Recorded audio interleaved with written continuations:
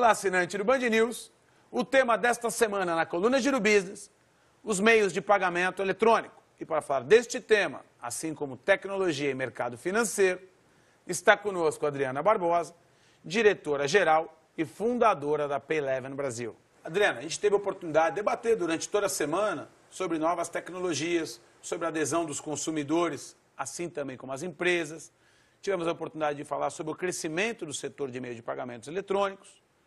E agora, eu queria falar com você sobre a legislação.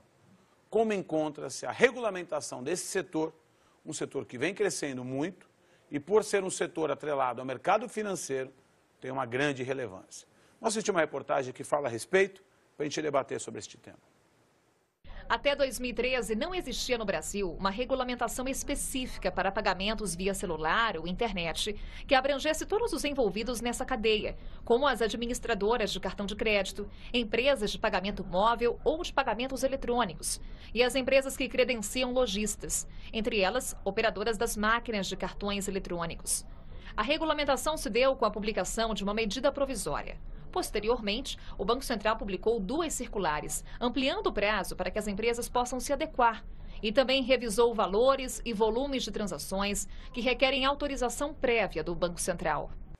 Adriana, entendendo um pouco mais sobre a regulamentação do setor, a gente pode afirmar que, após a medida 165, a medida provisória, somada às intervenções do Banco Central, este é um setor hoje muito mais regulamentado, defendendo não só a sua cadeia produtiva, mas também as empresas que o contratam e os consumidores que o utilizam? A queda da exclusividade em 2010 do processamento de transações é, entre bandeiras e credenciadoras abriu bastante o mercado brasileiro para concorrência, ou seja, permitiu que não só médias e grandes empresas tivessem acesso à aceitação de cartão, mas também microempreendedores e profissionais liberais. Além disso, que fosse mais competitivo as taxas uh, de todas as empresas, de todo o mercado. Nesse cenário, o surgimento de nova tecnologia, que é pagamento móvel, fez com que, desde o início, o Banco Central já se posicionasse para entender quais são as políticas que regulamentam o setor para cada um dos elos na cadeia. Então, sim, é um mercado regulamentado, mas isso é bastante importante para garantir a solidez dessas novas tecnologias. Adriana, dentro desse contexto, de que forma hoje as empresas que contratam sistemas de pagamento eletrônico, elas percebem essas empresas como empresas de tecnologia embarcada, de valor agregado, ou simplesmente como uma commodity e o que vale no final é a negociação por uma taxa? O grande ponto de pagamento móvel é que hoje você deixou de ter só um hardware para ter um software.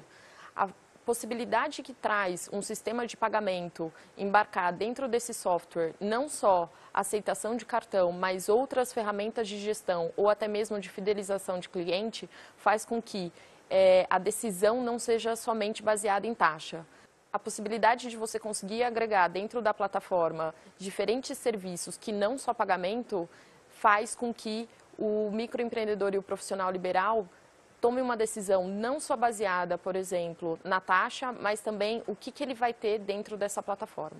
Adriana, fico muito feliz de poder levar o assinante do Band News, aos microempresários, aos profissionais liberais, essas informações, onde o meio de pagamento eletrônico não é só mais um meio, e sim uma empresa com muita tecnologia embarcada, que oferece não só hardware, mais softwares, como você bem colocou, e uma série de serviços que ajudam nos respectivos negócios. Adriana Barbosa, diretora-geral da Payleven e também fundadora da Payleven Brasil. Foi um prazer recebê-la aqui no Giro Business. Obrigada, obrigada pela participação. É, é muito bom poder falar um pouquinho mais desse setor que tanto cresce. Obrigado a você, Adriana. E obrigado a você, assinante do Band News, que acompanha as colunas Giro Business. Colunas que em breve voltarão com muito mais.